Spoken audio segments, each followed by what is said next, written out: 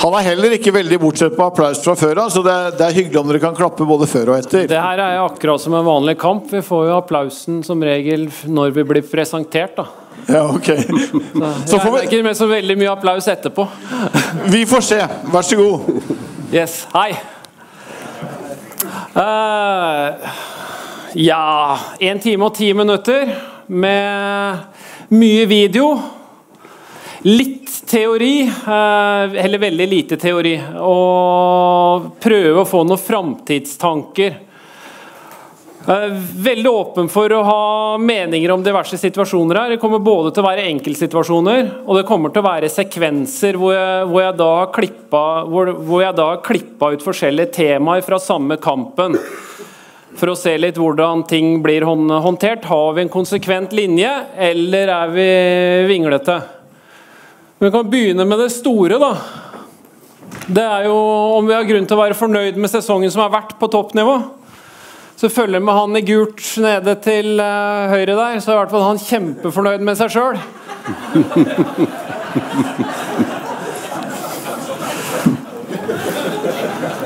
Nå får han reprise òg, da. Jeg visste ikke at Mike Dean hadde begynt å dømme håndball, men her har vi en.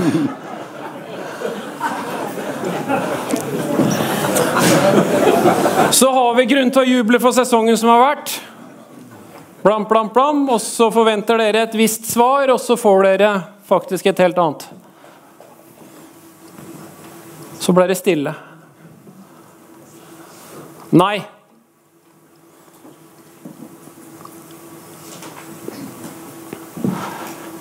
Og nå, altså, Ove, har jo det store bildet for dommerne i de, i hvert fall i de tre øverste seriene.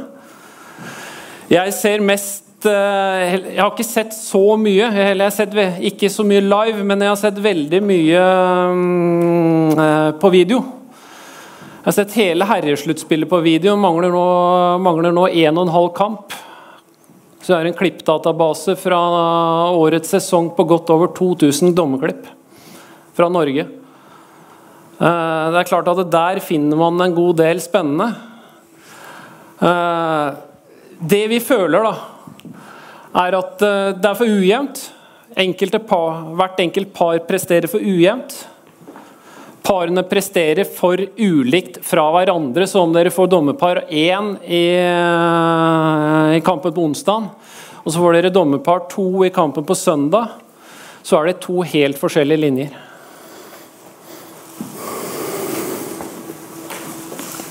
Men samtidig kan vi også se det innad i, innad i enkeltkamper. Og, da, og det er mange måter å se det på. Vi skal bl.a. se noen klipp fra, noen slutts- fra noen av sluttspillfinalene i år. Noen sekvenser der hvor vi viser en del bestraffningssituasjoner. Hvor man da begynner på én linje, som er enten rett eller, rett eller gæren. Noen ganger så er den rett, andre ganger så er den gæren. Og så justerer man seg, man seg inn i en annen linje. Og Hvis man begynner på en gærenlinje og justerer seg inn i en rett linje, så blir det akkurat som en mattestykke på skolen. Nå er det heldigvis lenge siden jeg gikk der. Eller det er litt synd, da, men det begynner å bli grått oppi håret her også. Det er ikke bare pga. dommerprestasjoner. At man får følgefeil. Det vil altså si at man i teorien kan ta en helt korrekt avgjørelse etter 45 minutter av kampen, men som man ikke får solgt fordi at linjene var en helt annen, og man gjorde noe helt annet etter fem minutter av kampen.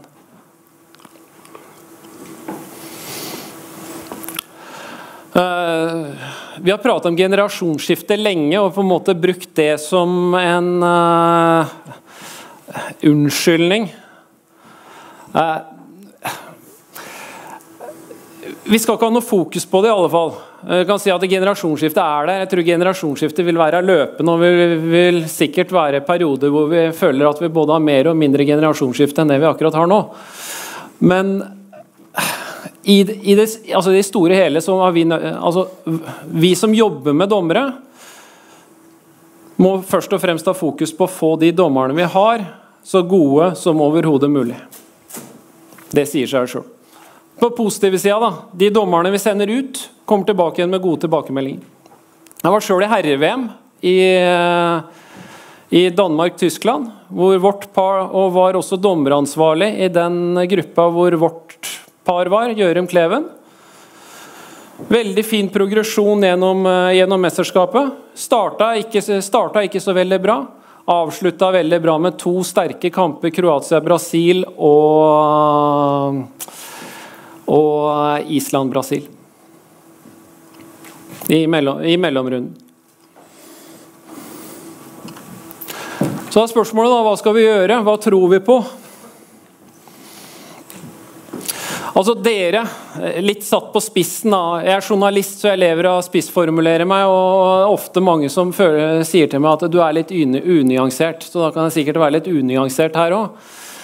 Eh, dere jobber jo for å gjøre dere så uforutsigbare som overhodet mulig i forhold til lagene dere, i forhold til lagene dere skal løpe møte.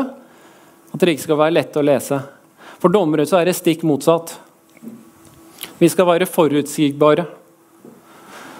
Vi må bli mye mer forutsigbare. Dere skal vite hva dere, dere, skal vite hva dere får, og dere skal få det samme hver gang. Bestiller dere en medium stekt, en medium stekt pepperstek med bearnés, så skal dere få det. Ikke svartbrent, ikke rå, og ikke med en helt annen saus. Så hvordan få til det, da? Og så kan man, man, kan prøve, man kan eh, plukke ut fokusområde, fokusområde, fokusområde, fokusområde. Vi kan ha 15 forskjellige fokusområder, 20 forskjellige fokusområder. Og så veit alle her som er pedagoger, jeg er ikke pedagog, jeg er en dårlig pedagog, men til og med jeg veit at det får jeg for mye inn her med forskjellig input som jeg må tenke på, så da går det galt. Da må du trykke både reset og kontroll alt elite for å hele tatt ha noe håp om at topplokket skal funke igjen. Så hva vi plukker ut, det er en diskusjon. Skal vise, vi skal vise innenfor fire temaer her. Som helt sikkert er noe vi kommer til å prate med dommerne om i Skjærgårdslekene før neste sesong. Men først og fremst så trenger vi standarder. Det vil altså si at Den situasjonen der den skal bedømmes sånn og bare på den måten.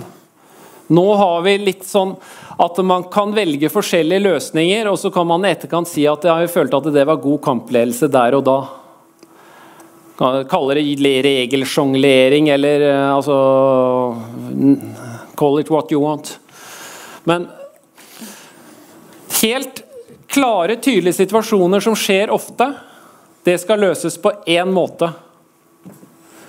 Samtidig informasjonen må nå alle. Både dommere, lag og eh, ikke minst de som ser på dommerne. Gjør, følger man ikke den veien, så må det ha en konsekvens.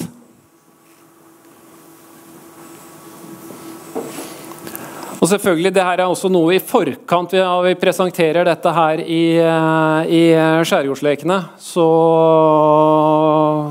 ønsker vi en forankring. Kommer helt sikkert til å få en powerpoint du kan få mene noe om, Torir, bl.a. For å bistå i standardiseringa så har vi vært i kontakt med norsk topphåndball. Og eh, kommet fram der gjennom noen samtaler at trenere må bistå. Trenere må inn på banen på elitenivå og være med og forme dette produktet. Vi har jo hatt ulike foraer hvor vi har hatt muligheten for å snakke med hverandre, men det har ikke fungert tilfredsstillende. Så vi har henvendt oss til topphåndballen, og allerede 12.6. skal det være et forberedende møte på hvordan vi skal komme oss videre. Så vi får en åpen dialog nå begge veier, dommersida og trenersida, på hvordan dette landskapet skal skapes framover. Det tror vi er eh, megapositivt for å komme oss videre. Og, og at vi sammen kan bidra til at, eh, at dommerstanden blir mer homogen og mer stabil enn han er PT.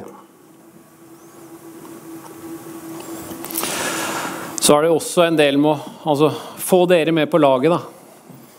Skal si litt om det i morgen. I morgen er virkelig utfordrende. Det er riktignok bare 45 minutter, men å komme foran trener og prate om delegatrollen, det, er, det er en av årets større utfordringer. Ikke sant, Andreas? Uh,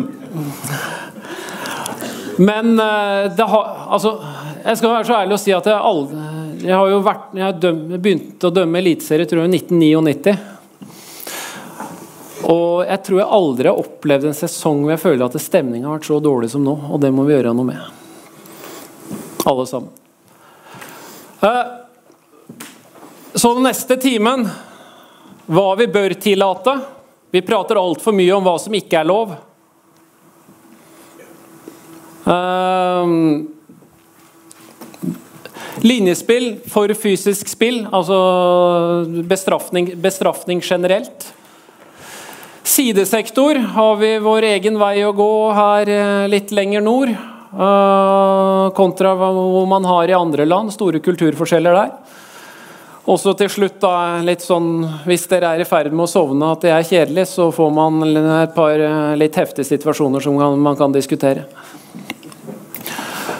Også si det at det er lag, det er spillere som går igjen her. her altså,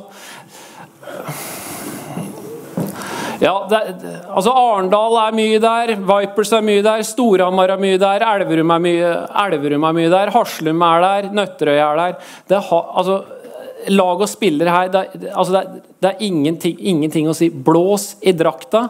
Vi blåser også i drakta når vi ser, når vi, når vi ser, når vi ser gjennom dette her. Jeg kan, jeg, kan, jeg kan, finne ting i hvert eneste lag som på en måte kan si at jo, det her må dere prøve altså, sånn, altså, sånn opptrer de i enkelte situasjoner. Det kan de ikke få lov til.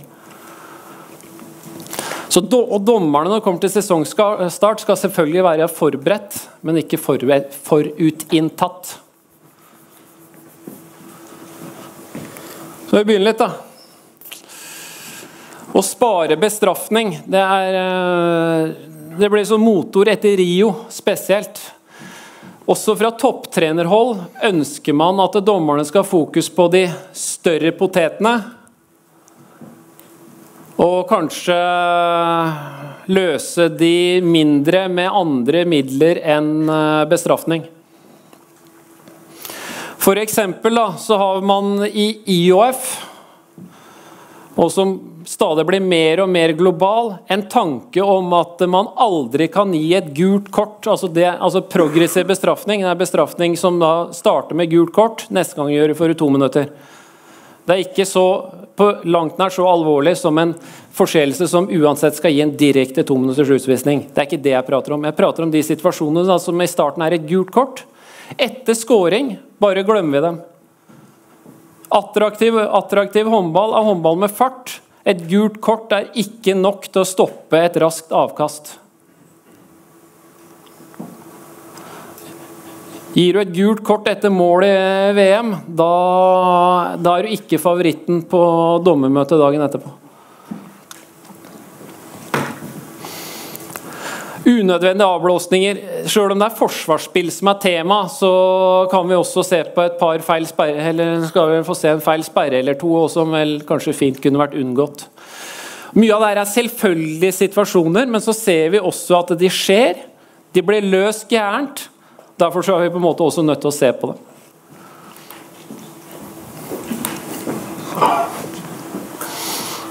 Kommer en sekvens. Skåring.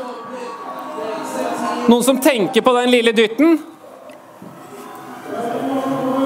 Miste kortet. Spill videre. Der.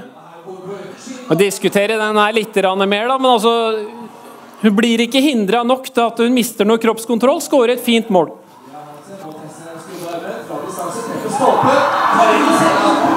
Ikke noe dytt, hun er bare framme med kroppen.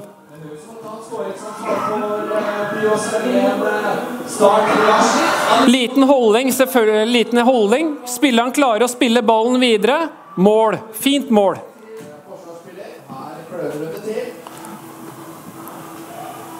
Ok, Takling på midten. Ingen konsekvens. Skåre mål.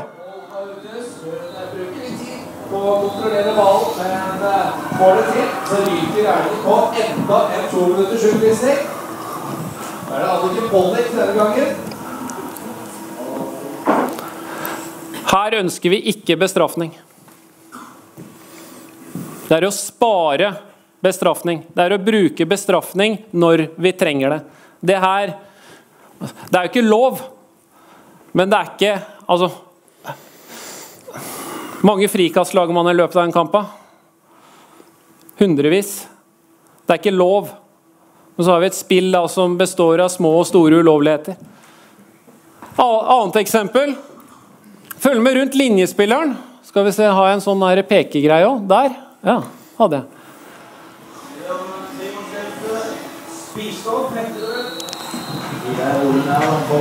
Fritt skudd. Helt fritt skudd.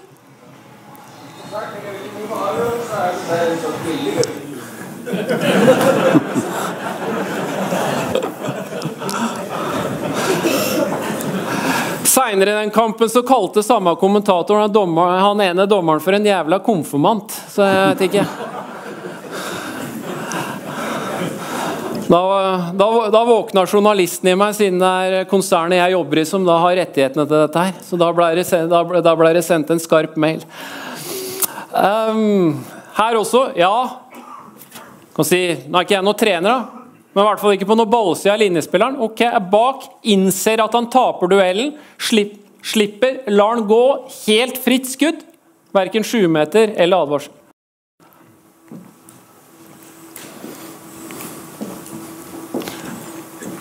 Nå er det plutselig ikke lyd. Gjennombrudd. Ja, ja, blir fulgt litt.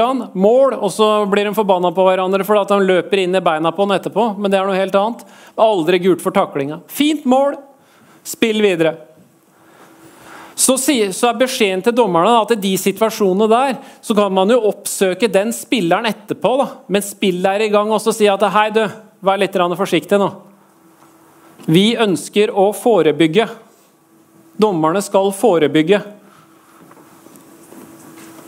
Vi ønsker ikke en million utvisninger. Det blir håndball kjedelig. I hvert fall når vi ser hvor eh, lenge enkelte lag får spille når de har tatt ut keeperen. Vi skal faktisk ikke prate om det her, men eh, det burde kanskje vært et tema. Neste. Sperra i midten.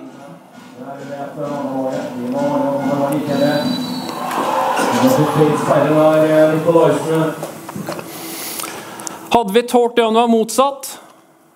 Hvert fall min, min, min klare teori er at, forsvars, at forsvarsspillerne får lov til å gjøre mye mer mot linjespilleren enn det linjespilleren får lov til å gjøre mot forsvarsspilleren. Som det der òg. Spill videre. Dette er greit. Det var, en, var, et klipp hvor det ikke var så veldig mye forsvarsspill inne. Altså, han gjør jo beviselig ikke mye gærent, forsvarsspilleren her. Da. Men jeg syns ikke angrepsspilleren gjør så mye gærent heller. Siste. Så en fra Fana her, så faktisk får et Fana-klipp òg, da. Larvik er her, jo. Kommer feil sperre, eller er det feil sperre? Holder i trøya på linjespilleren, så går altså hvitt inni.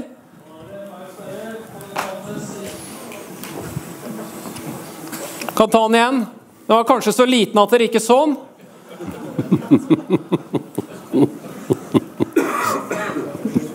Holder, to som holder i trøya hennes. Veldig fornøyd.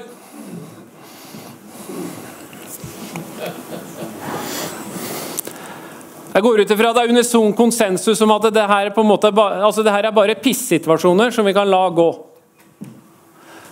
Det forsvarsspillerne har lov til, da det eller det man har lov til i håndball i forhold til, uh, i forhold til fysisk kontakt med motspiller, er tre ting. Det er å blokkere med en passiv kropp. da. Så er jeg veldig breiskuldra, så da kan jeg sikkert stå så breint med beina. Nei. Passiv kropp, blokkere. Og så hva er det? Det er selvfølgelig vanskelig å, vanskelig å definere. Spille ut ballen med en åpen hånd. Det er lov. Og føre. Så når vi kommer over i sidesektor, skal vi se at forskjellen mellom å føre og dytte kan være veldig hårfin. Så har vi de fire beslutningskriteriene våre. da. Det er posisjonen til forsvarsspilleren, om det er front-front, fra side eller bakfra. Hvilken kroppsdel som treffes. Utgangspunktet da, er det verre å gi en der enn å gi en der. Sjøl om her også kan, veld, kan, bli veldig farlig i en gitt situasjon. Er man i lufta rett etter skuddavviklinga f.eks. men ingen balanse, bare en sånn liten en da. Og vi tar, eh, tar en bra salto bakover. Dynamikken Og her begynner det å bli vanskelig. Det er også å si hvor hard er den dytten? Og så blir det enda, enda vanskeligere når vi begynner å prate om effekten av den. For at effekten eh, Hvis jeg Veldig hyggelig å se deg, Mika. Vi har lenge siden jeg krangla med deg. Savner jeg. Eh, hvis mi... Ja.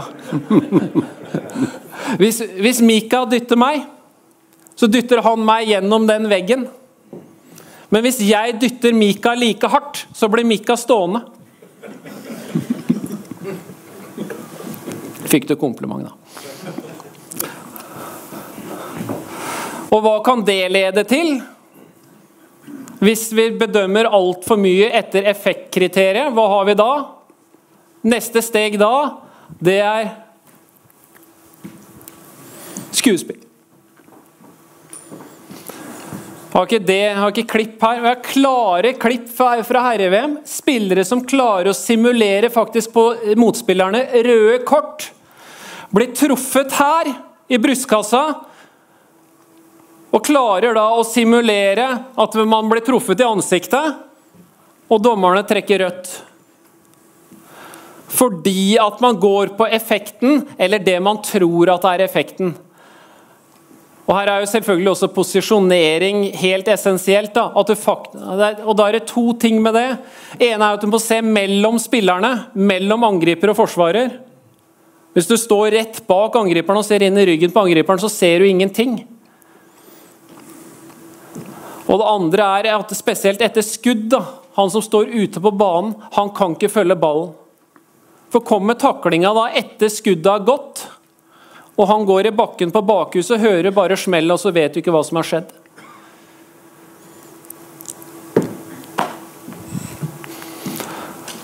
Yes. Ja, kvarter. Eh, hvis vi tar kvarter på hvert tema, så kommer vi i mål her. Eh, linjespill slash for fysisk spill. Siden tidenes morgen så har vi prata om at de, og med tidenes morgen så prater jeg om så lenge jeg har vært med, i hvert fall. da. Så har vi prata om at de første ti minuttene er veldig viktige. Sette linja i de første ti minuttene av kampen. Helt essensielt. Og Da blir det selvfølgelig så mye enklere. Så Det man gjør de første ti minuttene av kampen, da, det forplikter også resten. Ok, linja er der, da må linja være der. Hvis linja er her, og, pluss, og så etter 40 minutter så er plutselig linja her igjen, så får man heller ikke solgt en riktig avgjørelse, som jeg pratet om i stad, fordi at det blir uforutsigbart. Og Da kommer man selvfølgelig også inn på balansen mellom lagene tre viktigste tingene, i hvert fall for meg. Det er at reglene følges, og det, Da prater jeg ikke sånn at vi skal lese alle bokstavene, men jeg prater sånn at eh, vi ikke har feil som gjør at kampen må spilles på nytt. Andre er spillernes sikkerhet. At vi, at, vi, at, vi, at vi, ivaretar den, setter spillernes sikkerhet øverst. Og tredje er at det tilnærma like situasjoner skal bedømmes helt likt. 50-50. Det er balanse. Hvis dere har hørt dommere prate om balanse, så er det det som er balanse. Balanse er ikke å erstatte den feilen du gjorde der, som du veit at du gjorde feil, men helt bevisst feil igjen der nede. Det er å kompensere. Det er ingen dommere som blir lært opp til å kompensere. Også Inni her så ligger det også et ord som heter 'smartness'. Og det kommer, det kommer med åra. Jeg tenker sjøl dæven hvor mye bedre det har vært å dømme nå. Bare det jeg har lært på de sju åra siden jeg ga meg. Er åtte, faktisk. Nei. Rundt linjespill Ve viktig, Hvem gjør den første forseelsen? Hva skjer først? Og det skjer ofte litt før ballen kommer. Overdreven trøyeholding. Selvfølgelig også ting du tar tidlig. Justere det til å begynne med. da, hvis det ikke er så hvis vi ser den trøye, altså hvis vi ser en forsvarsspiller holder i trøya på en angrepsspiller må jeg bare gå inn og si 'Hei, jeg ser deg. Kutt ut det.' Trenger ikke å blåse. Personlighet. Fortsetter da. Ok, blås. Gjør det klart for hele hallen at jeg ikke skal ha den trøyeholdinga. Kroppsspråk, informasjon. Fortsetter du da? Ok. Gult. Fortsetter du da, to minutter, og da sørg i hvert fall for at, eh, at, man har et kroppsspråk som viser hvorfor den tominutteren kommer. Og Da prater vi med dommeren om at vi, gjerne, at vi gjerne ønsker at det kroppsspråket skal gå mot benken. Ikke bare, det, ikke bare, for at de som er på benken skal få se det, men ofte så er også hoved-TV-kamera på sida til benken. Ergo så får vi litt opplæring hjem i de tusen hjem også. Så kroppsspråk og personlighet, det forebygger. Så veit jo jeg Jeg husker jo hvor, usikker, altså, hvor usikker og hvor opptatt jeg var å gjøre absolutt alt riktig når jeg kom opp som 20-åring også og begynte å dømme Eliteserie. Og så etter hvert som du får mer erfaring, så har, du mye, så har du også et mye større fokus på det store bildet. Istedenfor at du bare tenker situasjon, situasjon, situasjon, situasjon, så er selvfølgelig det viktig. Misforstå meg rett, men det er å få en god helhet det er essensielt i en god kampledelse. Kan også si at Hvis du gjør alle, hvis du gjør alle enkeltsituasjoner korrekt, det, det, tror jeg er umulig. Det tror jeg ikke kommer til å skje. Men da blir også helheten ganske god. Da. Skal vi se litt. Her er vi i eh, Ja, vi er jo nesten Vi er ikke ei uke engang tilbake igjen i tid.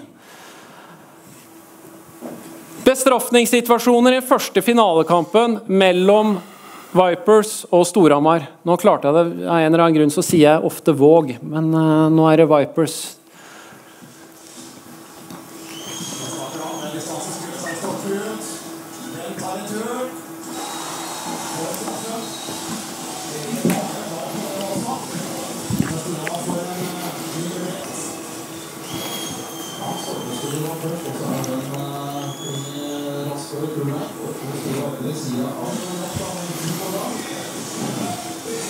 3.20.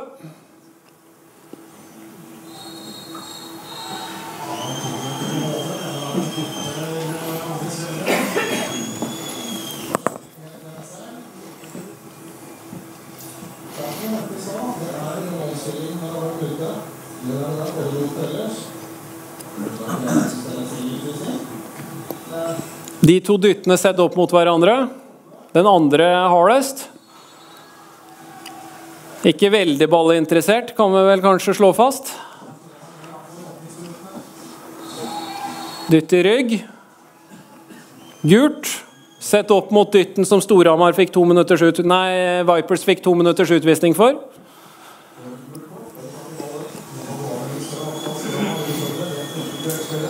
Hvem gjør første forseelse her? Se på reprisa.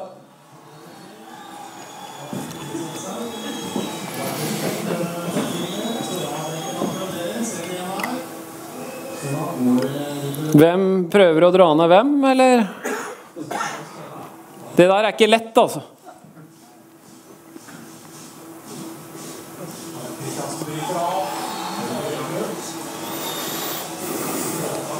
Vi har spilt ni minutter.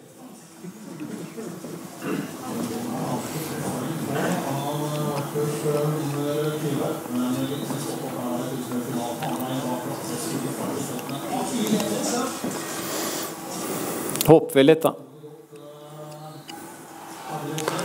Holder innafor den der berømmelige seksmeterlinja. Bare vanlig frikast. Holder innafor seksmeterlinja eh, for så vidt også, men her ryker det ut. i hvert fall.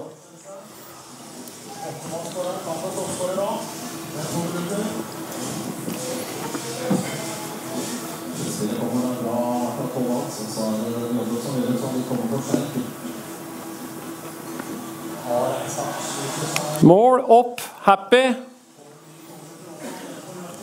Utvisning. Tja.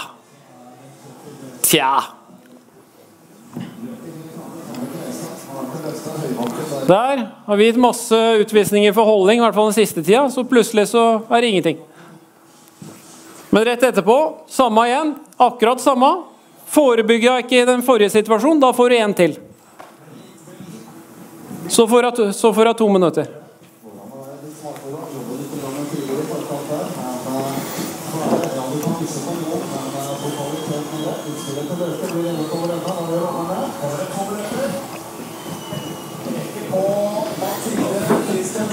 som da får sin tredje tårmøter i mine papirer. Ja, det har vært inne i ordinær tid, men spiller Kan du faktisk også diskutere sjumeterkast.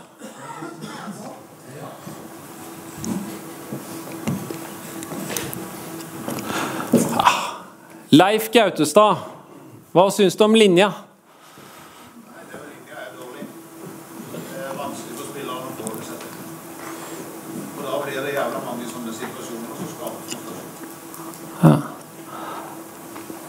Heine Eriksen, fornøyd? Minder jo lidt om det, man ser i Danmark også. Men man kan sige, så har man jo øh, i Danmark inden for de sidste øh, par år jo taget en, sådan en del tiltag i forhold til øh, en her situationer. Blandt andet med øh, omkring tv, Ja. og de muligheder, der ligger i de her tv-billeder. Øh, blandt andet så er det sådan nu i Danmark, at man kan, dommerne kan se situationer igennem øh, i løbet af kampen. Ja. Det har i hvert fald øh, indtil videre været en succes. Øh, Det forsikrer selvfølgelig kampen, øh, men det har faktisk været en rigtig fin succes. Det, der bliver tiltaget næste år, er jo, at øh, vi træner øh, i ligaen, og med de ting øh, kan begynde også at hvad hedder det, se øh, situationer igennem. En coaches challenge. Ja, Ja. Øh, det får vi mulighed for i, øh, i tv-kampene i næste mm. sæson. Så det har i hvert fald været en, øh, hvad skal man sige, en del af det. Øh, jeg tror at det går lang tid i Danmark, før en, at øh, vi har tre dommer. Det bliver mm. i hvert fald prøvet af, øh, måske allerede næste sæson i nogle kampe, at man går op på, på tre dommer. Og jeg tror heller ikke, der går lang tid i Danmark, før at man har professionelle dommer. Altså jeg tror, der går to-tre øh, sæsoner, så tror jeg, man har måske det første professionelle øh, dommerpar i Danmark. Så ja, sådan, Danmark er man, øh, synes jeg, inden for de sidste 3-4 år taget en masse gode tiltag. Eh, I mesterskapene nå så er det også videodømming. Eh, en av utfordringene med dette her er at kriteriene for å se på video er, helt, er forskjellige fra EM til VM. Første, første man må gjøre, da, er at man kommer sammen og i hvert fall blir enige om hva, hva man skal se på video for. For man, kan jo, man kan jo ikke sitte og se på en håndballkamp i en, eh, en håndballkamp i desember, og så eh, dommerparet går og ser video, og så har man akkurat den samme situasjonen da en håndballkamp i januar, og da går de ikke og ser video. Det vi så på video i eh, Eller de situasjonene vi brukte videodømming i Tyskland, var, det var i hovedsak positive. Jeg kom ut med én feil løsning. Det var, feil, det var et feil innbytte som ble blåst for, hvor eh, ene delegaten plutselig trakk seg. og Det var ikke noe grunn til å trekke seg for det feil innbytte, for det var et feil innbytte. Men det ble, det ble masse rot. Vi var nede på fra timeout til igangsettelse igjen, så var vi nede på på det mest effektive var vi på 28 sekunder. Det er vel litt dialog med TV 2 om eh, videodømming også i Norge. Kan vi flytte oss, da? Fortsatt Storhamar, da. Jeg er, ute, jeg, altså jeg er ikke ute etter noen.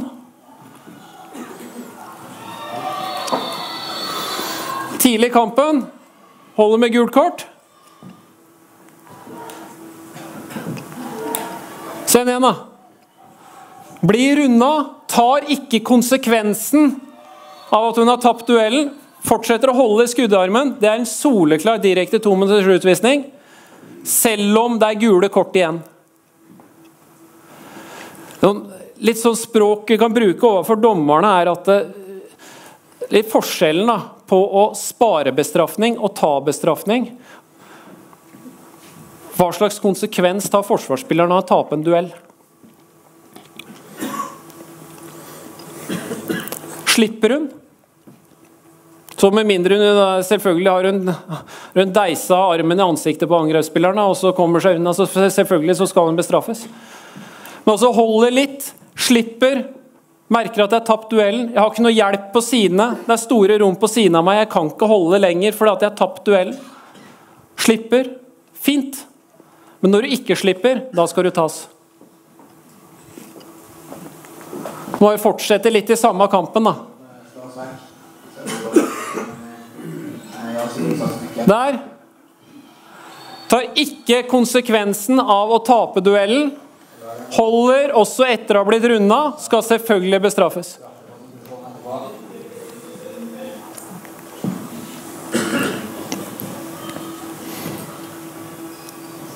Så kommer vi litt over i neste tema. Den, sammen, den sammenligna med holdningene tidligere. Så husker vi den, da. Så får vi den her. Er helt like. Nå er det i hvert fall ikke noe verre den første.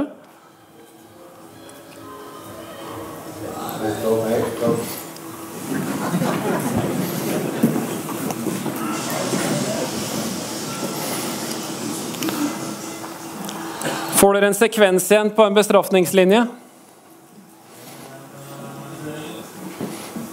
Der er da ikke linjespillsituasjoner, men spill, eller situasjoner i mer åpent spill fra den andre finalekampen mellom Elverum og Arendal.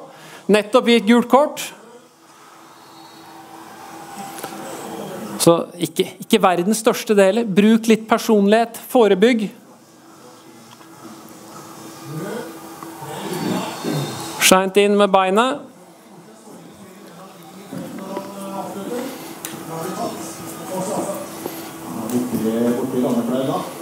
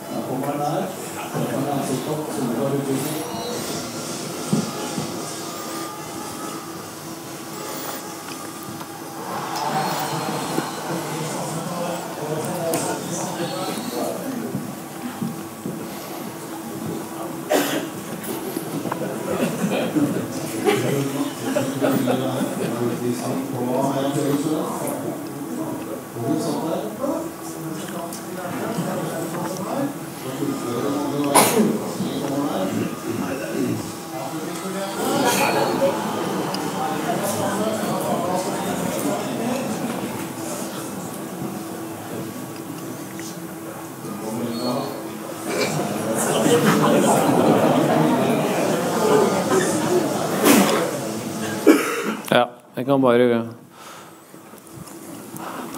En annen variant, da. Det er jo noe vi må begynne å tenke på nå. Det er sju mot seks-spillet. Fyllingen er nå eh, sitrer av spenning hva som kommer nå. Bruk av målfelt!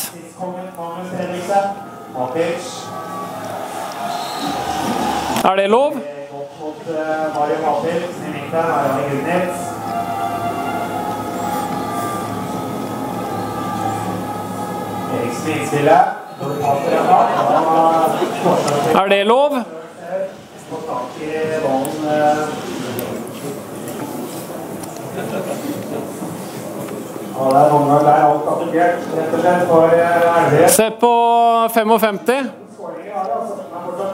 I første Fredriksen. Der ligger Igers. Bra redning. Kan eh, Fyllingen løpe. Ser etter Mossestad. Har han ikke. Og så er det det er veldig bra dømt. Der ser dere forsvarsspilleren kommer fra feltet. Aldri angrepsfeil. Det er bare et, altså bare et lite utvalg av situasjoner. Når det gjelder bruk av målfelt, sånn veldig enkelt Bruk av målfelt er sjumeterkast hvis bruken av målfelt forhindrer en åpenbar klar målsjanse. Gjentatt bevisst bruk av målfelt skal bestraffes progressivt. Det er også å si gult. Neste gang du gjør det da, eller første gang da, slutt. Andre gang gult.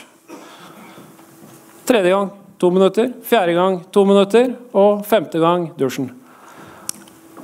Litt sånn, Det er, flåsete, det er selvfølgelig flåsete sagt. Uh, og bevisst det er, hver, altså, det er ikke hver gang man betrer målfeltet man skal bestraffes, men jeg har ikke sett mange bestraffninger for bruk av målfelt i, verken i Norge eller internasjonalt i år. Tror vi kan si at det skulle vært eh, definitivt det skulle vært flere. Sånn liten, liten situasjon, egentlig, hvis du ser dytten i ryggen her.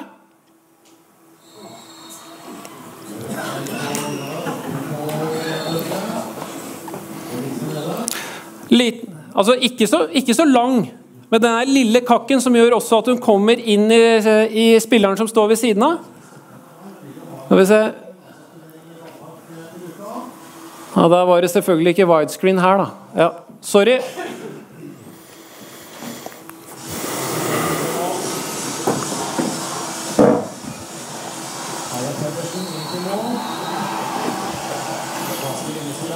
Ok, Vi starter med gult.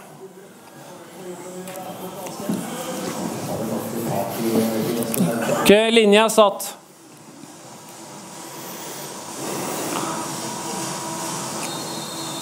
Nytt gult. Litt vanskeligere å se hva som skjer, men ok.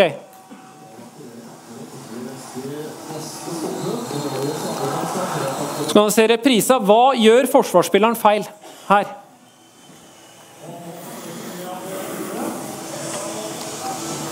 Han skjønner i hvert fall ikke.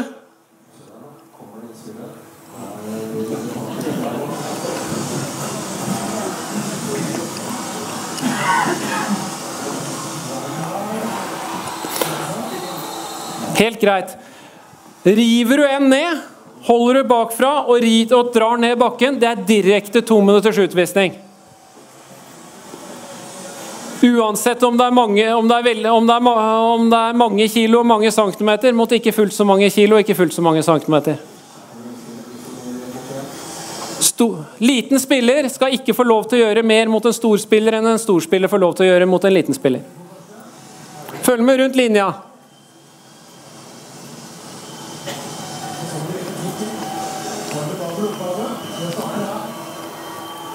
Ok, Det får gå. Mener jeg dommerne bare skal stoppe og så gjøre akkurat det samme som de gjorde på den andre sida med gule kort. Igjen rundt linja.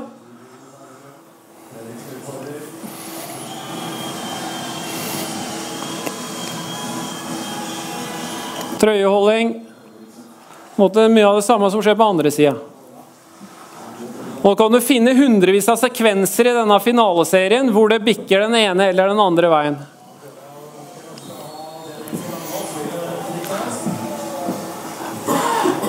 Måte, mitt poeng til dommerne er det, altså det, det, blir, det blir for mye. Vi lar det gå for langt.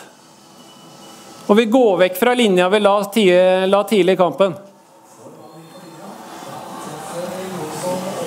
Treffer eller ikke treffer. Ny, ny linjesituasjon.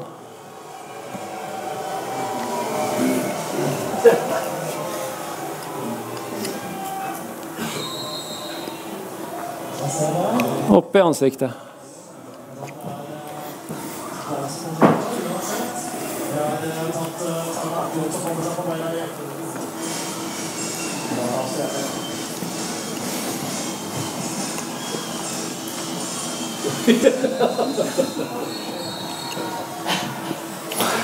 Har vi også spillere som nå begynner å tre, trene inn en teknikk som gjør at det, For at når drakta går av, da blir det som regel to minutter. Da har du holdt nok.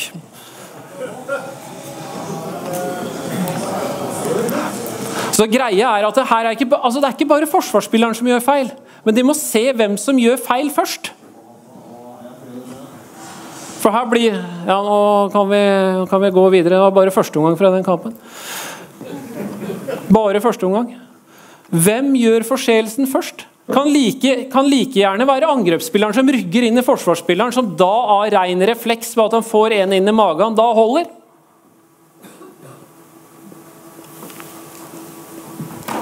Vi kan ikke ha så mange situasjoner, og for å unngå så mange situasjoner, så må vi fortelle spillerne hvordan vi vil ha det fra starten av. Ok, følger dere ikke linja vår, da? Dumt av dere, men da blir det mye ventetid der ute, og mye undertallsspill. Neste tema sidesektor. Vi opplever veldig store kulturforskjeller rundt bedømming av det her. Kan jeg ta også være med på å ta skylda for sjøl? En sjelden gang finne fram ja, nesten som å finne fram VHS-video for, for, for å se tida jeg dømte. Men, men vi hadde en helt jeg kan bruke sinnssyk høy linje i sidesektor. Skulle vi blåse et sjumeterkast utside to, da, da, da, skulle det være alvor, altså. Og det er en kultur vi har hatt i Norge, og en kultur vi har hatt for lenge i Norge. Går man lenger øst og litt sør, går man til Balkan f.eks., så ser man en helt annen bedømmelse av dette. Hvor kanskje det vi da kaller føring, som er lov, også resulterer i det syvmeterkastet. Så er svaret et eller annet sted i midten. Skulle da ønske å sagt at svaret var i Tyskland, men å se Bundesliga, det, det er også tøffe saker, for å si det mildt. Eh, hva slags, eh, hva slags uh, problemstillinger er vi møter? Jo, vi møter selvfølgelig angrepsfeil versus sjumeter. Og da spesielt feltbruk. Vet jo, du sa jo, Torer, at uh, du føler at dommernes blikk er så seint inn i situasjonene i toerposisjon at de ofte ikke ser den før situasjonen er inne i feltet. Derfor blåser, meter, derfor blåser det sjumeterkast. Som en konsekvens av det så sier du til dine toere at de skal en, en halv meter lenger ut. Ja, minst. Andre, andre sida, da. Så kan man stå på utsida av målfeltet og likevel ha brukt feltet for å komme dit. Det er heller ikke lov. Den gråsona som veldig mange her ikke liker, kan vel også reise opp eller rekke opp hånda mi litt og si at den gjør ting litt uklart. Enten så tråkker du på streken, eller så tråkker du ikke på streken hvis du har ball. Eh, det har ikke noe med gråsone å gjøre. Når du beveger deg i målfeltet for å komme deg fra et sted til et annet, så har du uansett brukt målfeltet når du kommer dit. Hvis spilleren bare løper rett i deg da, og du er på utsida, så er det likevel sjumeterkast. For at du har brukt målfeltet, du har tatt en snarvei for å komme dit. For å se det, så må da selvfølgelig dommeren som står ved siden av målet, ha blikk i den situasjonen før smellen kommer. For at når smellen kommer, så kan alt se fint ut. Så, samtidig skal den dommeren da i hovedsak følge med på hva som skjer rundt linjespilleren og Det er da den timinga fra å slippe blikket fra linjespilleren til å se hva som skjer før gjennombruddet, der kommer vi ofte altfor sent. Ergo vi oppfatter ikke målfeltsbruk i forkant.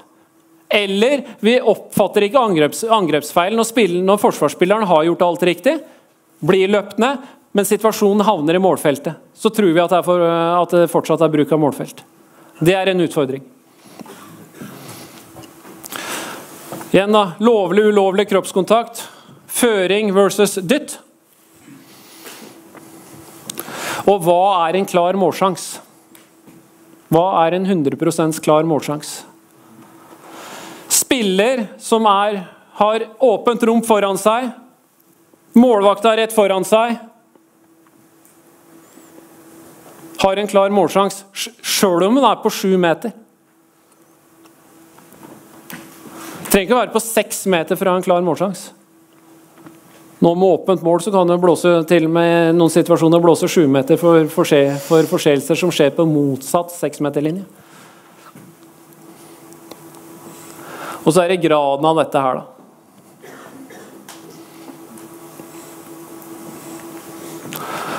Kan se litt. Her er fra en av kvalikkampene. Igjen, da, det er, det er bare situasjoner som går mot det ene laget. Det er også situasjoner den andre veien. Men jeg samla det sammen, og jeg kan vel også si at jeg syns at uh, graden av feil den ene veien var betydelig større enn graden av feil den andre veien.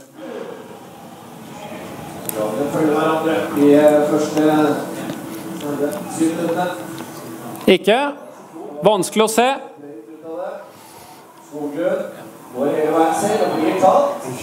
Frikast. Den er ikke så mye å diskutere, tror jeg.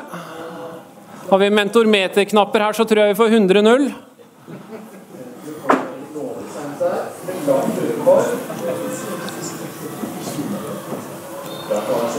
Frikast.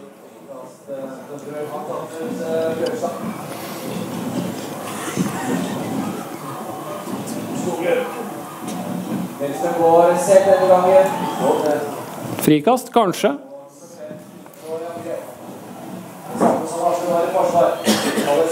Langt inne i feltet. Men det var ikke sidesektor, da. forsøkte seg snart. Har holdt kun skutt tre ganger. Jeg vet ikke, han har Sånn type situasjon som hvor frikast kan være greit. Starte på utsida, innsida. Og 1. april så er også den 99-eren inne i Frikast. bevegelse. Strikkland er 15 sekunder igjen. 29-29. Skoglund til Lindstrøm. Får nå, og så er det redning fra Tromsø. Ingenting.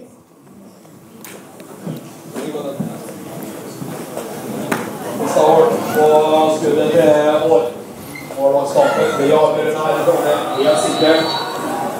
Frikast. Ja. Solstad. Sitter på utsiden og får eh, Sju meter. Skal dere få se eh, situasjonen i reprise? De som er våkne, ser at det ikke er reprise, men skulle nesten tro det. Eh, Tre minutter seinere ingenting. Altså Det er her vi har nødt til å jobbe for å bli forutsigbare. Du er kjempefornøyd eh, etter ett minutt, og så er du ikke like fornøyd etter 4.13, vil jeg tro. Ja. Her også lignende eh, litt lignende problematikk. Der. Han er på utsiden. Ikke syvmeterkast, det der. Men ok, vi setter linja der.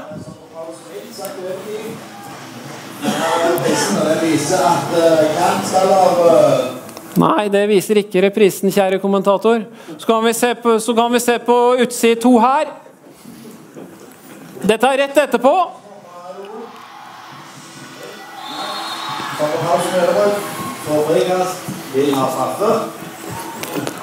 Det skal han også ha.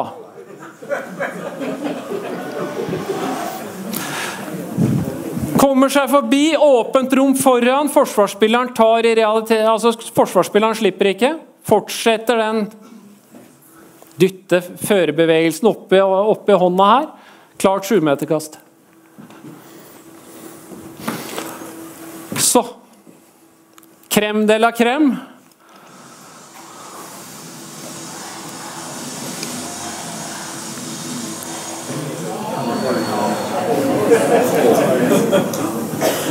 Vi tar den en gang til. Dere er ikke så gode til å dømme at alle fikk med seg den der. Oi. Kom igjen, da. Der.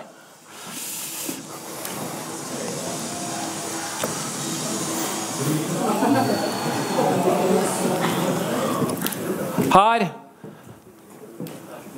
har du Du har noen valg. Ene er å blåse angrepsfeil fordi at eh, Arendal-spilleren eh, da skal dytte Elverum-spilleren inn i målfeltet. Jeg syns det ikke er det. Andre er å stoppe situasjonen fordi du mener at begge er like gode. Men når, du, men når du da sier at det er fordel, ergo at eh, angrepsspilleren ikke har gjort noe feil her, som jeg også kan kjøpe, så kan det ikke bli noe annet enn sjumeterkast. Kommer fra målfeltet, benytter målfeltet ut. Står, eh, står ikke noe klart på utsida, men, er, men kommer fra målfeltet.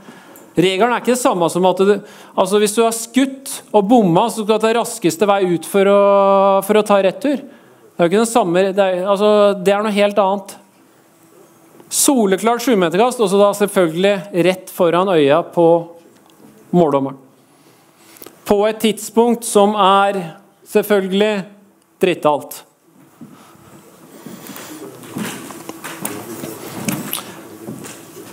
Siste Eh, Røde kort, blå kort eller bare to minutter? Mange av de eller flere av de situasjonene her så tror jeg hele salen er enig om at vi ikke vil ha dem. Jeg føler vi har blitt relativt Jeg sier relativt for at eh, det finnes mange unntak fortsatt. Vi er relativt konsekvente på at vi klarer å få vekk dytte, at de dyttene i lufta. At det flere og flere av de i hvert fall blir tatt. Eh, Herre-VM syns jeg det var eh, Bortsett fra et par enkeltkamper, bl.a. Norges semifinale, så syns jeg det var, var ganske bra. Samtidig, da, når den store skjer, så sier vi til dommerne bruk tid. Dere har masse tid. Ofte da er en skada spiller. Timeout. Sikre skadested. Så hvis det er noen som skal slåss og måle litt krefter, så vær så snill og gjør det litt unna den spilleren som eh, ligger skada. Få inn hjelp, og da gå og prat. Og sjøl om jeg da bare har tenkt å gi deg den tominutteren, Mika, så når jeg, når jeg og Ove går og prater sammen, så skjønner du at vi kanskje tenker deg på å gi, på å gi deg rødt kort. Kanskje skjønner lagkameratene dine, kanskje skjønner benkene, kanskje skjønner også det andre laget. Og det er en preventiv effekt i det også. Sjøl om avgjørelsen til slutt er en to minutters utvisning. Det blir ikke gitt for mange røde kort i Norge, tror jeg, Ove. Nei. Beskjedent antall. Og så kan det selvfølgelig oppstå når som helst. Vi har disse berømmelige 30 sekundene, det skal vi ikke komme inn på her.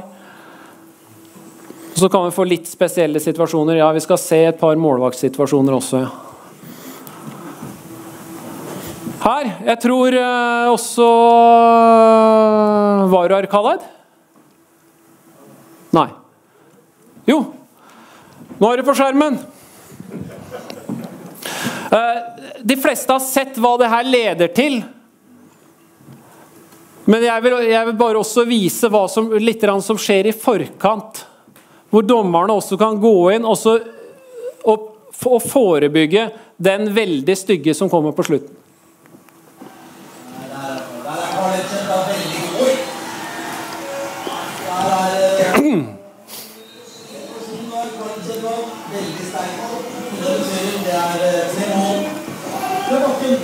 Så er vi tidlig i andre omgang.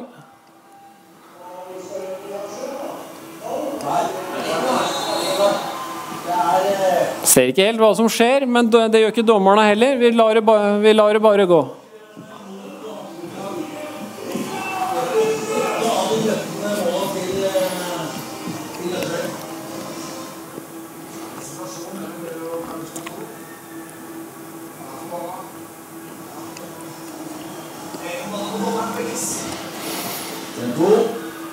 Så skal dere følge med.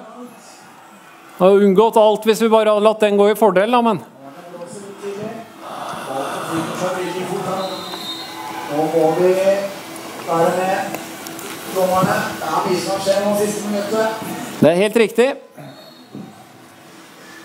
Oi, det er Der skjer det noe. Er det albue fra det?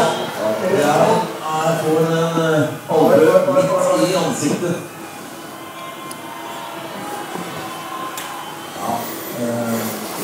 De det et par liten prat seg imellom og ser hva de gjør der. Er det albue, så er det jo for så vidt ingen tvil. Nei, jeg ser Jeg syns jeg syns i at det ser eh, Trenger ikke å se på hele den prosessen. Det her ender da med et innkast til Haslum.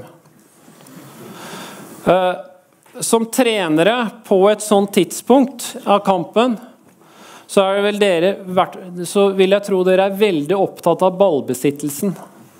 Ballbesittelsen er ekstremt viktig på et sånt tidspunkt. Nei, Ligger under med ett mål, er i angrep, det er en ett minutt av kampen. Så ikke bare, de, ser ikke, de ser jo ikke forseelsen. Så på en måte logikken er jo der. Da. Ok, de har ikke sett noe, da blir det innkast. Men du ser jo det blir veldig feil. Det var en fysisk tøff kamp eh, i Arendal. Taklinger. Gjennom skritt. Alt skal være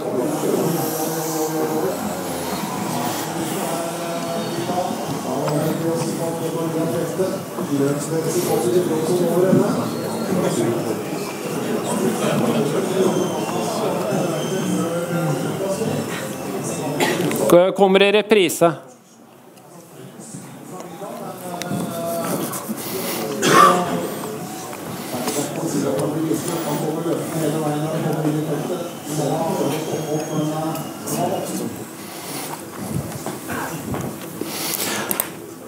Sluttspillfinale 42 sekunder.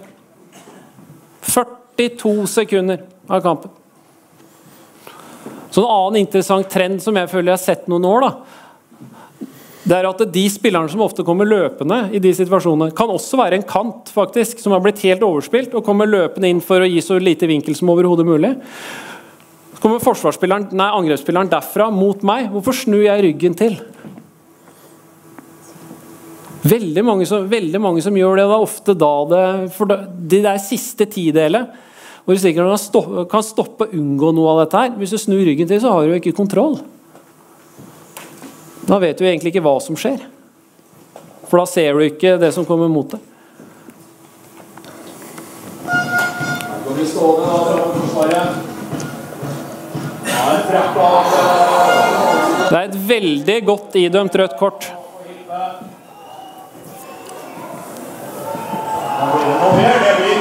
Blir er rødt kort. Ai, ai, ai, ai, ai, ai. Trondheim-kapteinen Erik Valne Sippe Vi sendt i dusjen. 39 minutter ut i det her oppgjøret, hvor skjebnesvangert blir det Taper duellen, skuddarmen, og slipper ikke skuddarmen heller, drar den rett ned. Strålende rødt kort. Er det her nok til rødt kort? Ule Jacobsen. Det er en hilsetakling fra Andrea Hansen. To minutters utvisning er vel eh, Vanskelig å se. Der går, i hvert, der går de i hvert fall sammen.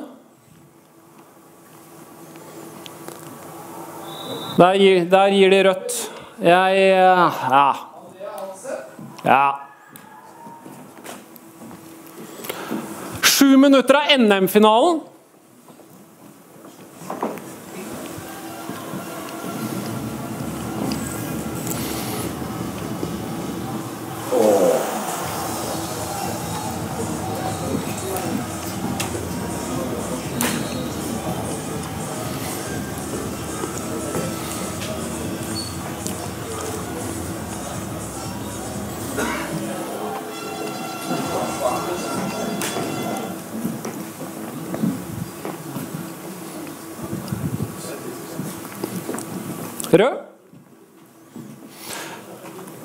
Litt, så går vi over til litt mer spesielle situasjoner. Følg med her.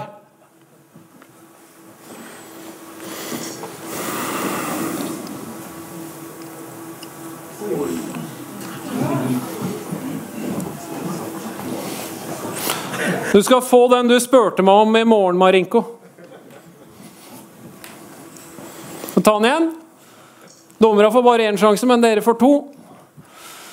Kanskje jeg får en liten klapp etterpå, da.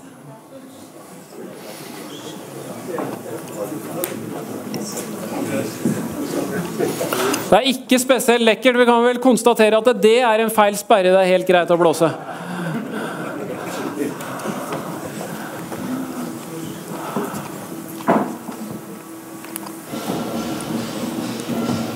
Ola Pettersen er fartig hvert fall ganske lever, og det smeller ordentlig. Han vrir seg smerte. Simen Ola Pettersen lander på halebeinet får en dytt fra Egil Holstad. Christian Klav Ørstedt raser nede på banen. Den så ikke god ut i det hele tatt. Han går i mål. Men eh, skal vi se hva som skjer her nå. Ola Pettersen med Kristian, og så lander han rett på Ble gitt rødt og blått kort.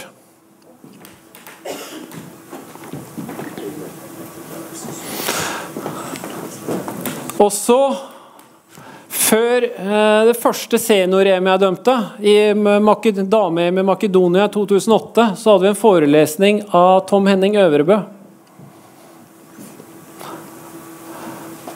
Tittelen på den forelesninga var 'Expect the Unexpected'. Fire måneder senere var han på Stanford Bridge.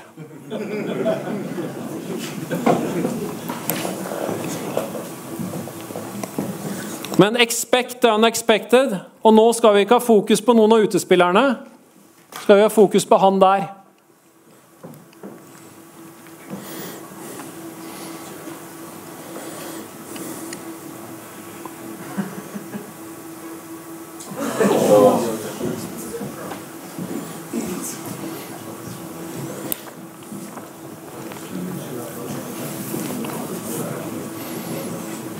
Tar den en gang til, vi. Så så dere hvilken som kommer etterpå også.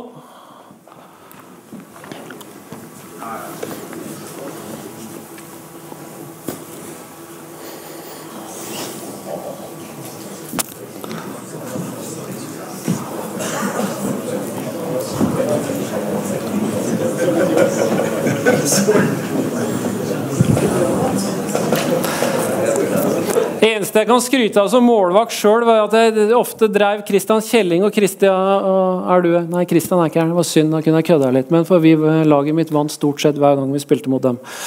Og Kjetil Strand til vanvidd. Men den teknikken der, den lærte jeg aldri.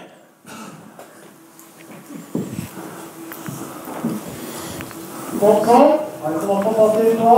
En bra vink fra Kante på passivt nå. Stian Bogen tar en bra vink fra Kante. Og så er passivt nå. Stian Bogen tar en bra vink fra Har du reagert på en sånn en i Danmark, Heine? Det spørsmålet skal jeg. Hva har det, hvordan ville en sånn situasjon ha blitt bedømt i Danmark? Jeg vil sige, at nu ser jeg rigtig mange håndboldkampe i Danmark, og så to voldsomme situationer er- kan jeg ikke mindes, jeg har set. Men nok godt. Helt enig.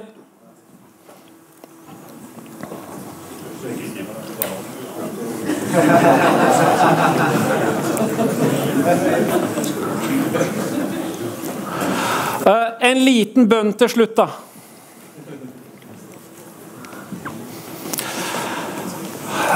Jo, dommer, dommerne Dommerne får tid Altså det er, elite, det er eliteidrett. Dere skal, få, dere skal forvente gode prestasjoner. Av og til så får dere det, av og til så får dere det ikke. Dessverre. Uh, holdt på å si de Ikke si de stakkarene, da. Men de som er utpå der og ofte kan motta veldig mye kjeft. Én gjør dem noe bedre. Så to så gjenstår også av evalueringen med observatøren, og jeg er ingen snill observatør. Det er, det er ganske tøft også egenevalueringa etter, eh, et, etter kamper. Også med observatører. Denne uka her, med de to, altså med finale tre i eh, Arendal og finale én i Kristiansand, satt vi tre timer sammen og så de kampene. Med de to dommer, dommerparene. Det var dommerparene sjøl som tok initiativ til det. De prøver å utvikle seg, de prøver å bli bedre. Og så må vi også gi de verktøyene, og veldig gjerne sammen med dere, til at vi om ett et år kan stå her og si at eh, fanken den sesongen her, nå har, vært, nå har vi sett framgang. Vi kommer ikke til å være der. og Jeg tror aldri vi, kan si at vi kommer til å være helt fornøyd. altså, Det er en sånn dum floskel man blir aldri helt fornøyd. Men kan vi, kan vi bare, skal vi bare beholde den der? Vi kommer aldri til å bli helt fornøyd, men i hvert fall hvis vi kan si at vi, at, eh, at vi står her, og så at vi vi har tatt et steg. Vi har gjort en del, en, en del av de tinga de kommer til å få beskjed om på Skjærgårdsleken, og det er mye innafor dette her. Så har, vi i hvert, eh, har vi i hvert fall kommet noen vei. For eh, helt, helt åpent og ærlig, ikke, det er ingen som slår seg på brystet her så, veldig, så er fornøyd med totaliteten av det vi har sett denne sesongen her på eliteserienivå førstedivisjonsnivå. Yes. Takk for meg.